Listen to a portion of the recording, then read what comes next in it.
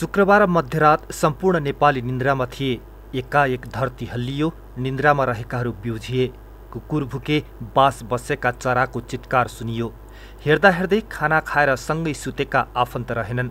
सबैभन्दा सुरक्षित मानिएको घर नै रहेन। भूकम्प र त्यसपछिका परकम्पले स्थानीयको जीवनको लय नै बिगारिदियो। शोक र त्रासदी समेत थपिदियो।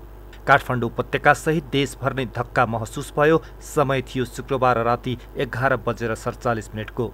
जाजरकोटको रामी डाँडालाई केन्द्रबिन्दु बनाएर छ दशमलव चार म्याग्निच्युडको भूकम्पले विशेष गरी जाजरकोट र छिमेकी जिल्ला रुकुम पश्चिमलाई नराम्ररी हल्लाइदियो दुवै जिल्लाले ठूलो मानवीय र भौतिक क्षति बिहोर्नु पर्यो। जाजरकोट र रुकुम पश्चिमका धेरै गाउँ भूकम्पबाट थिलो थिलो भए। जमिन भाँसिए चिरा चिरा परे। मृत्यु भएकाको परिवार गहिरो शोकमा डुबे।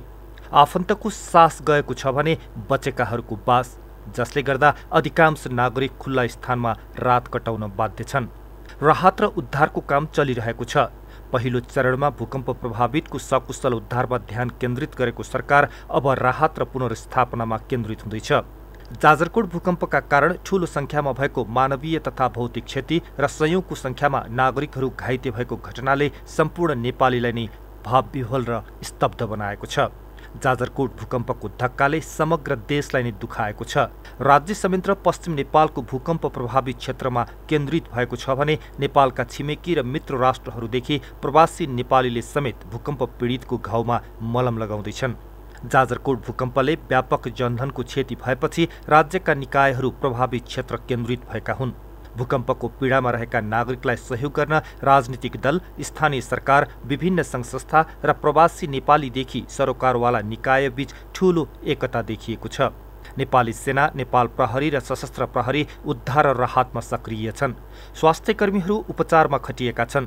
भूकम्पपछि प्रमुख दलहरूले पूर्व निर्धारित कार्यक्रमहरू स्थगित गरेका छन्। प्रधानमन्त्री प्रचण्ड शनिबार बिहानै प्रभावित क्षेत्र पुग्नुभयो।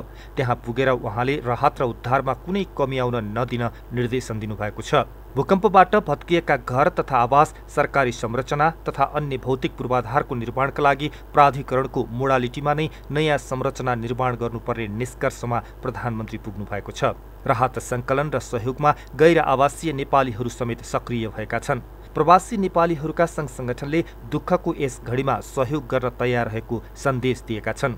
यसै गरी छिमेकी मुलुकहरू भारत र चीन लगायत नेपालका मित्र राष्ट्रहरूले पनि विपत्तिले सिर्जना गरेको सङ्कटमा साथ दिन तयार रहेको बताएका छन्। नेपाल सधैँ भूकम्पको उच्च जोखिममा रहेको मुलुक हो। नेपालमा पटक पटक भूकम्प गइरहेको छ।